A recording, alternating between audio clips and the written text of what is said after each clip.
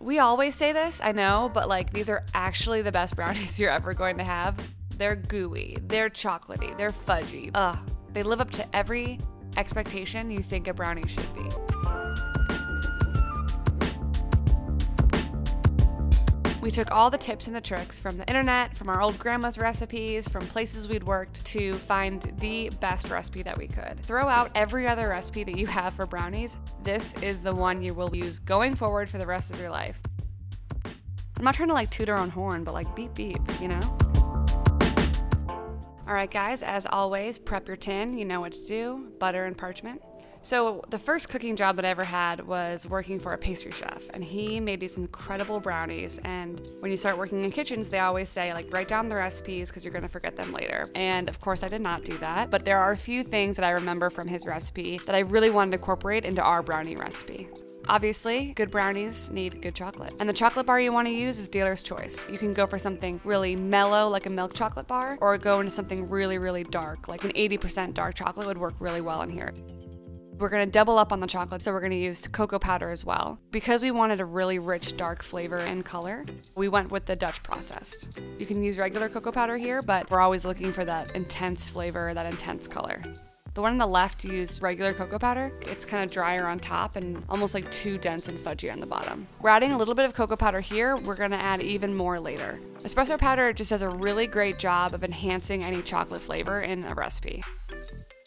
If you're worried about the caffeine, you can get a decaf powder as well. It's not going to taste like coffee or espresso, it's really just another flavor enhancer.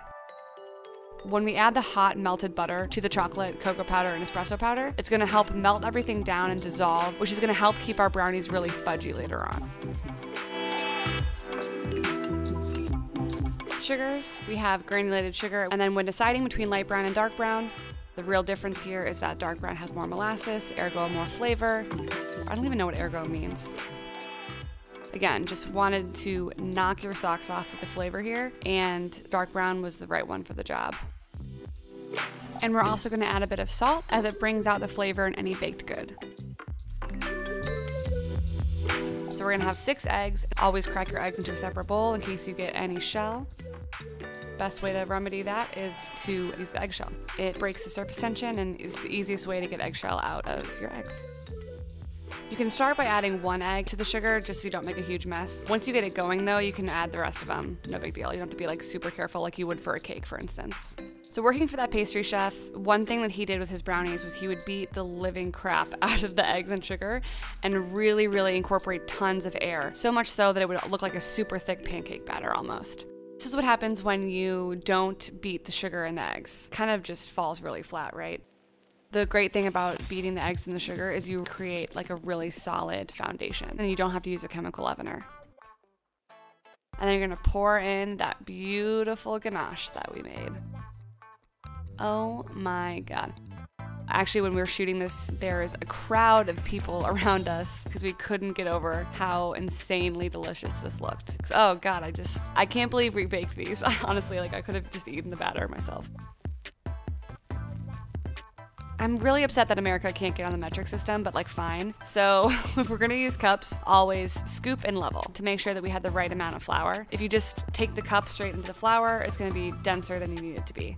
And you're going to sift the flour and the cocoa powder into the mixture to make sure we have no lumps and just make sure that we're really quickly incorporating it into the rest of the batter. And fold because we beat all that air in with the eggs, we don't want to totally deflate that. So just get the dry ingredients incorporated as quickly as you can. Pour the completed batter into your prepped tin. Smooth it out to make sure everything's pretty level. And into the oven it goes. So these are gonna rise quite a bit. After about 20 minutes, we're gonna take them out. This is like my favorite tip of the whole recipe. Take the brownies out and slam them on your kitchen counter. It's gonna crack the top as well as evens out everything and you get a much more like consistent texture. These are the same recipe. The one on the left is not whacked, right whacked. At this point, we're also going to add a bit of sea salt, optional but highly recommended. It adds a little salty bite, sweet and salty, always good.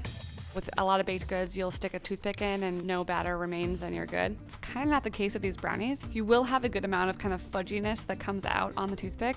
Trust us, they've been in there for like 45 minutes. They're definitely cooked through. They're just fudgy. When they do cool down, they also will deflate quite a bit. It results in a really even texture all throughout. Again, I can't say fudgy enough. Like, I don't even like fudge, little known thing about me, but these brownies are like insane.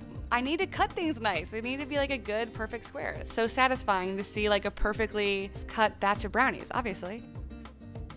Oh my gosh. A little tip too is to clean your knife after each cut. So you'll see a little bit of that fudginess comes off. They're fudgy, but they're not dense. And that is it. I mean, look at that texture. Look at it. This is like your go to brownie batter. It's amazing as is, but you can also mix in anything that you want. More chocolate chunks, potato chips, pretzels. This is like a phenomenal, like standard brownie recipe, but feel free to go crazy and mix in whatever you want. Making brownies from scratch, you know, there's other options out there that are easier, but it's like one of those fundamental baked goods that doesn't take a ton of technique, but they also kind of like go with everything and every event. You know what I mean? Like you have a breakup, brownies. Birthday, brownies. like they gotta work for anything. They're just one of those like feel good, crowd pleasing desserts that's just like always a win. Okay, it's fine. I'm just gonna keep talking and we're gonna leave it and it's gonna be fine. You're funny, Claire.